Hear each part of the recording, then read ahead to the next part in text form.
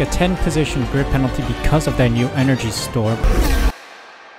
Welcome back everyone to some more F122 driver career mode. It's the Portuguese Grand Prix time which is of course the penultimate Grand Prix of the season. Now we got today's episode and then on Monday we've got the Brazilian Grand Prix which is a sprint race weekend to round things out and complete the F1 22 game mode of driver career mode. And then we'll move on the next day to F123 because it is gonna release on the 13th of June. So hopefully I'll get that video up as soon as I'm finished recording and as soon as the game uploads. So yeah be excited for that. So like and subscribe down below to be prepared for F123 content. But right now we are very close to McLaren with the constructors. If we get a decent result today and a decent result at the Brazilian Grand Prix, we could clinch the constructor standings for Ferrari. But of course, it requires a lot of good work from us, a good work from the team, and clinical driving essentially. We are very low on clean engine components or fresh engine components, so yeah, it's not looking too great, but the car is fast. I have noticed that the car is quite rapid, so Maybe we'll take a grid penalty today, we'll see though. But yep, time for Portimao. What a track this is. Quite enjoy this one, so let's see how well we perform here in the Portuguese Grand Prix.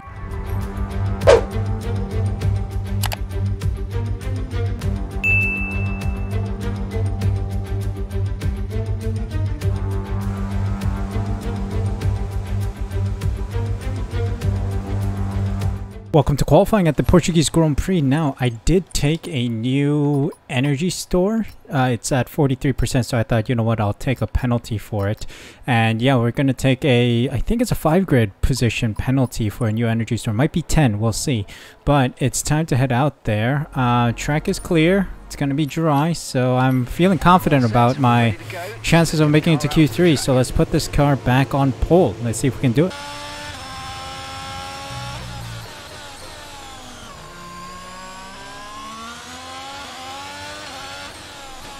My first banker lab, let's see.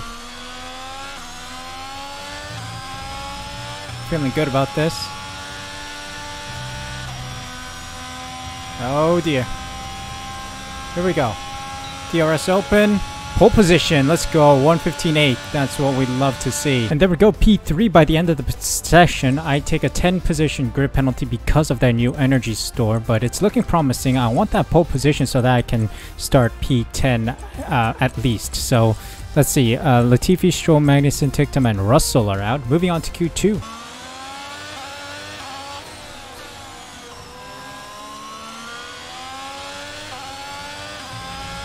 Oh, can we get a slipstream of Leclerc, please? No, not much. Maybe a tiny bit. But we crossed the line for P4 right now. We got two tenths to find to try and jump Alonso. Despite a bit of traffic, found that time. Almost three tenths found here. There we go. Fastest. Let's go. 115.9. That's what we love to see. That's some pace in this car. Is that just change of one energy store and that happens? Beautiful. Beautiful. There we go, qualified in P2 on a used set of soft, so that is beautiful to see. Yeah, Daruvala fails to continue into Q3. Shwartzman, Drugovich, Piastri, Daruvala, and Albon out. So, final shootout. Let's see if we can put this car on pole. Seems likely.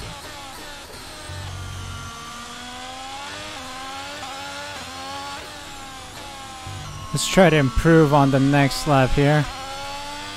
I think this is our banker Q3 on fresh softs. Not sure if it's good enough for pull right now. Oh, we do get pull. Alright. Nice, but I can find so much more time in this lap. There we go. There we go. That is much better. About two tenths improved on our previous lap.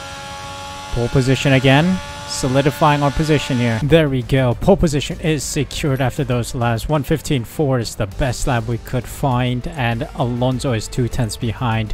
That electronic store really helped us out, I think. Wow, this is amazing. But we have the upper hand going into the race. McLarens are behind us, but Jehan Daruvala really needs to push out the field. So let's see if we can maximize our points and if McLaren are going to struggle today. Hope you guys are enjoying the video. If you are, there are a couple things you can do to support the channel. First off, press that like button and subscribe. Make sure you subscribe by pressing the red button down below and hit the notification bell as well so you're notified as soon as I upload next. Thank you guys so much for your support. Hope you enjoyed the rest of the video. Welcome along then to Portimao, one of the busiest towns in the Algarve and a breathtaking destination that brings tourists from all around the world to the shores of southern Portugal. Today it's the backdrop for the latest round of the Formula One World Championship, and with a circuit this wide, we could be in for a lot of exciting wheel-to-wheel -wheel action today. 2.9 miles of track at Portimao feature 15 turns, 9 to the right and 6 to the left. A lot going on at this track, a lot of elevation changes that'll affect the driver's braking and acceleration. Keep an eye out for the DRS zone on the final straight. That'll be the setup for a lot of today's overtaking opportunities. So with the race not far away from starting, here's what today's grid rundown looks like. An immense lap from Fernando Alonso yesterday puts him on pole position, edging out Lando Norris, who'll start from P2. As we continue through the rest of the grid today, we have Gasly, Perez, Charles Leclerc and Zhou, Tsunoda, Albon, Maverick, they've taken a grid penalty, and Jehan Daruvala, Oscar Piastri, Drugovich, Robert Shwartzman, and Verstappen, Russell, Ticktum, Kevin Magnussen and Lance Stroll. Ocon, they'll be starting further back after an earlier grid penalty. And Nicholas Latifi. It's almost time for the lights to go out, so let's head down to the track where preparations are underway. Alright, someone please tell me what McLaren's engine is, because my goodness, they don't take any penalties, do they? Um, but yeah, we are going to go for the medium to hard strat, drop our fuel by about two laps or so, because we do have optimal fuel upgrades, and just like that, let's start this race and see if we can push up to the front. The formation lap gets underway and every driver will be looking to settle in for the race ahead, making sure that their car is ready for the battle once the lights go out.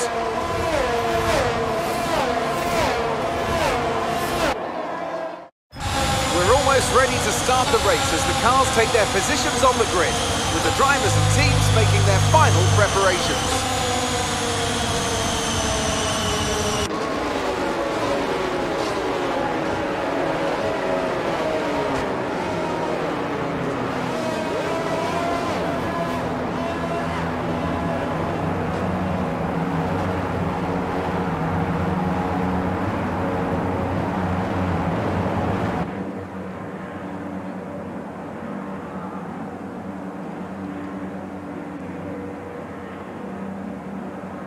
Alright, let's get it. Lights out.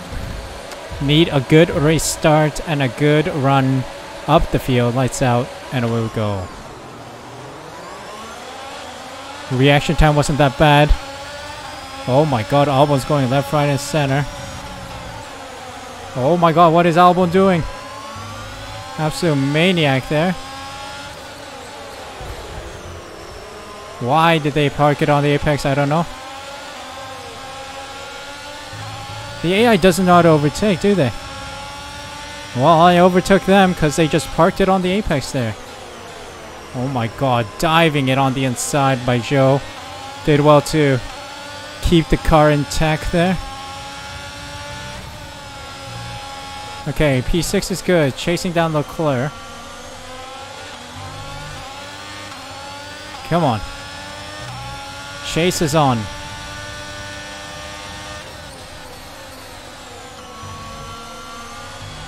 The first lap is always a bit precarious because the tires are never working, nor are the brakes. So I'm going to keep it calm, maintain position. Yes, Mark. That's exactly what I'm trying to do here. Let's get a nice run down the main straight. I think we may get Leclerc heading into turn one here. Doesn't really put up a defense. There we go. P5. Perez is now in my crosshairs. And then we got Gasly up ahead as well. Perez on the same tire compound as I am, so I'm feeling quite confident that we'll be able to get this guy. Oh, I set the fastest lap. Let's go. That is strong. I got some strong pace going in the car. Really, I think the one engine change has helped us out immensely because I'm feeling so much power in the car. Oh, Perez had a poor exit. think I can capitalize on that. Huge dive into the hairpin. Tries to cut back. Or switchback, sorry. Sorry, mate. My corner. And up to P4. Let's go. We got Gasly next. We want that DRS. Come on. Alright, Gasly. Get it, get it, get it, get it, get it, get it, get it. Oh, I've gone wide. I've just cut that corner massively. Why does the FIA say nothing? I don't know, but I'll take it. Here we go. We got some DRS on Norris now. Soft tire runners.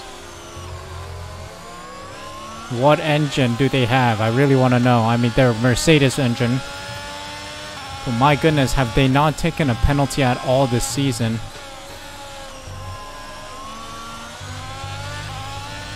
I'm pretty impressed.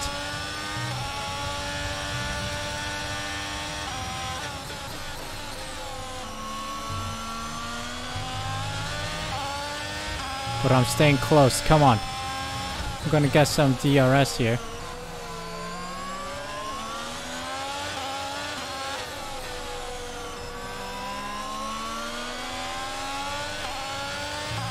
Come on. A little ERS assistance. And then we're gonna get the DRS down this straight. Come on. Let's go. Oh, another fastest level. Let's go, let's go. This is good. Same idea here. Side by side. Really flying on these mediums. As I say that, I nearly spin out there. Whew, this is good, this is good. Let's keep this pace, momentum. Alright, I think it's time to cook. Time to cook, let me cook. Look at me go. Look at that speed. And we got him. Taking the lead. Just like that. A new engine component really makes a huge difference. It's quite surprising. Well, thank God the game is done after this. Game's pretty broken, I must say. Also, I was doing a track acclimatization program, and none of the optional uh, objectives, like the ones that uh, um, give you a discount, got registered despite me doing them. Man, so many glitches in this game, but of course with F123 around the corner, Codemasters EA are not going to touch anything on the F122 game anymore. For a while at least. I'm sure they're still like leave lobbies open and stuff like that, online servers and stuff. But I'm sure 100% they're focusing on release, which of course will go wrong because Murphy's Law is a thing. Everything that should go wrong will go wrong. We're probably not going to have online multiplayer lobbies anymore. F1 World is probably going to crash or something. But yeah, they're probably paying a lot of attention on that instead of this game, so... Time to migrate over to the new game soon. I'm pretty happy about it. Alright, the first pit stops are happening for the soft tires. Norris is in now for the mediums. I'm going about 9 more laps, 10, including this one. So let's see how the overcut works. I want to make sure I have a nice gap. Right now the softs are dying off real quick, so I gotta make sure I gotta make the most of this lap and the next. No sliding, thank you. Beautiful. Also, noticing what my teammate is, I think McLaren have this in the bag. Such a shame that they let go of Leclerc or Sainz. Real shame. But it is what it is. Single-handedly carrying Le um, Ferrari for the rest of the season. Man, the tires are really dying off. Norris is catching. I'm going to use all of my ERS to try and keep that gap there because this means that we will release P1 from the pits. I think Lando Norris and Alonso are running very worn engines as we saw what Sainz or Leclerc has done to this car. I'm assuming the same is being done to other cars. They're losing performance because the engines are dead. Engines are absolutely dead right now for all teams.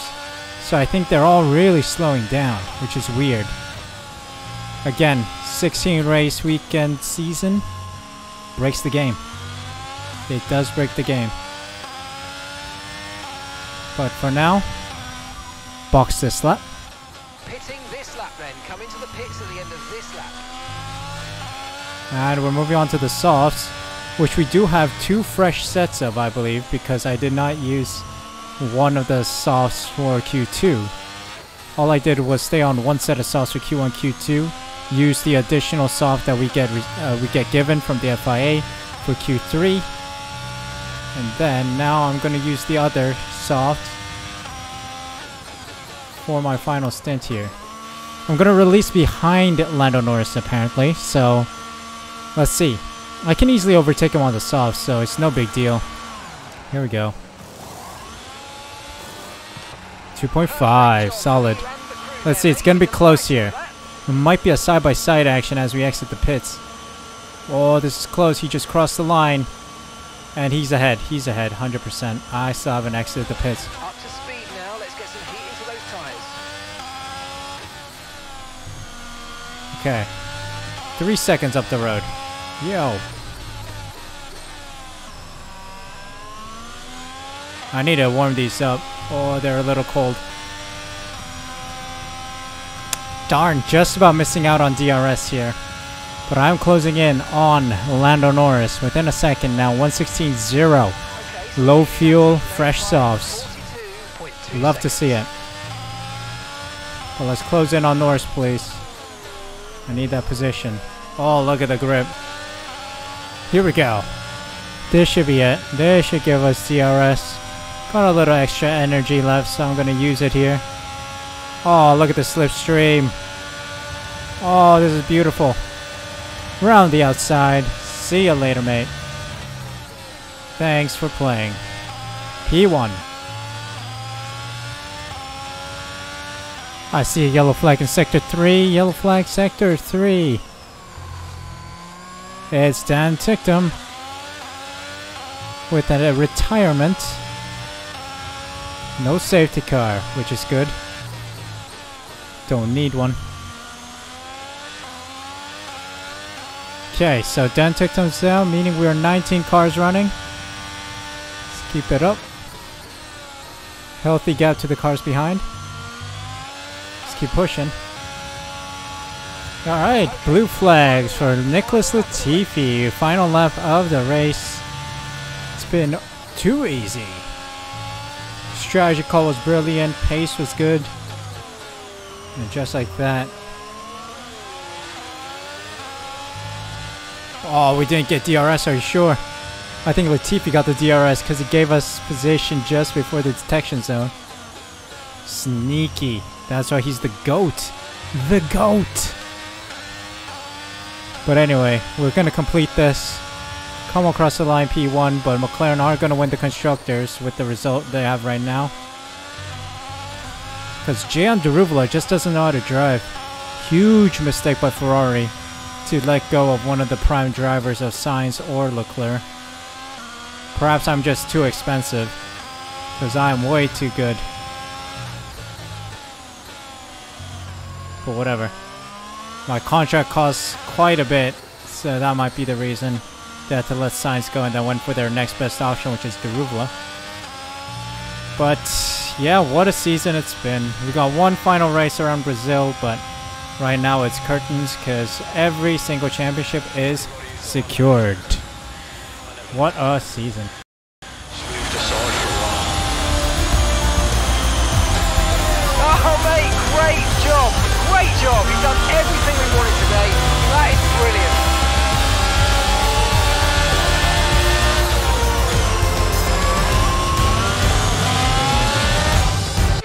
Victory today then, but the championship as well. What a spectacular season they've had. Congratulations to the whole team. So Natalie, what do you think helped them deliver this result? Well, when you overtake that many people, I'd certainly hope you'd win the race. Their car was really effective in the slipstream today, and the team will be pleased that they didn't cook the engine, given how long they were spending in the hot air behind other cars. They had a lot of confidence to push their tyres hard, especially going into the corners, which allowed for some late braking and some exciting passes.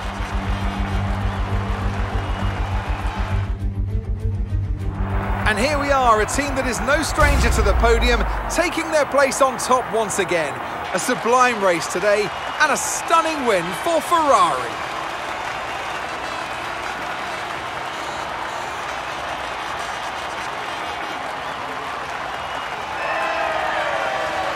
There you go. McLaren have secured the constructors and I secured the victory today with the fastest lap. Norris and Alonso alongside me on the podium. Perez, Leclerc, Drugovich, Verstappen, Piastri, Shwartzman and Tsunoda in the points. Ocon, Albon, Zhou, Gasly, Daruvala, Stroll, Russell, Magnussen and Latifi rounding out the finishers with Ticktum failing to finish the race today. So let's look at the standings then. 67 points ahead of Lando Norris. I've already secured this title, that's for sure.